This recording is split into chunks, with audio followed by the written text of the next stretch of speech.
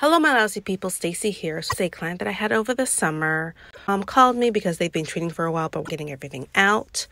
My client had um, a, a lot of small bugs and nits as well. It looked like the nits, which are the lice eggs, were starting to hatch, which is why we're so small.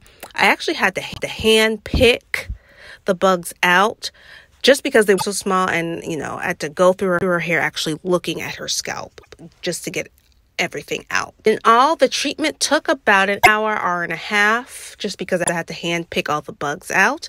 But at the end, she was looking good and she felt so much better. Thank you guys so much for watching. I'll see you guys later. Bye.